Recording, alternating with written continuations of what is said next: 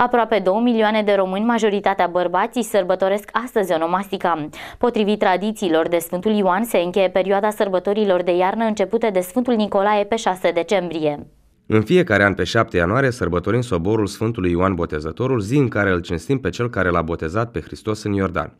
Conform statisticilor Direcției pentru Evidența Persoanelor și Administrarea Bazelor de Date din cadrul Ministerului Afacerilor Interne, 1.963.102 de români poartă numele Sfântului Ioan Botezătorul. Dintre românce, 373.537 se numesc Ioana, 142.656 Ionela, 19.924 Ionica, iar 11.265 Nela. Dintre bărbați, 507.822 se numesc Ioan, alții 401.914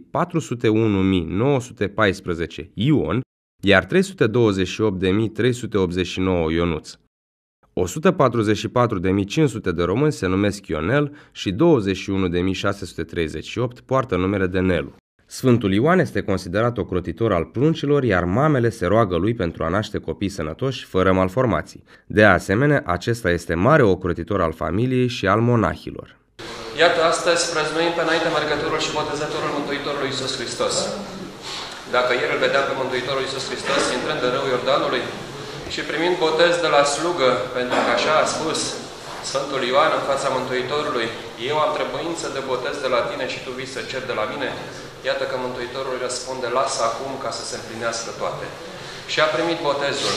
Așa cum știți, în momentul în care a ieșit din râul Iordanului Mântuitorul Iisus Hristos, Duhul lui Dumnezeu în chip de porumbel a venit și a șezut deasupra lui și glas din cer s-a auzit, iată, acesta este Fiul meu cel iubit, pe acesta să-L ascultați. Vă spuneam, iată, aceasta este cinstea pe care i-a acordat-o prorocului său, înainte mergătorului Ioan, Mântuitorul Iisus Hristos, aceea de a se bucura să fie vrednic de a-L boteza pe Fiul lui Dumnezeu. Se întreabă lumea, de ce tocmai acesta? Pentru că iată a fost ultimul dintre proroci, pentru că după aceea a venit Mântuitorul Iisus Hristos Mesia și s-a împlinit prorocia, a fost răstignit pe cruce, a murit pentru a ne curăți nouă păcatele și iată a fost cel mai mare dintre proroci pentru că s-a învrednicit să-L boteze pe Fiul lui Dumnezeu.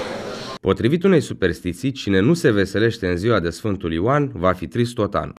În unele zone există obiceiul iordănitului, Tinerii stropesc cu aghiazmă luată în ziua de bobotează toți oamenii care au participat la slujba de Sfântul Ion.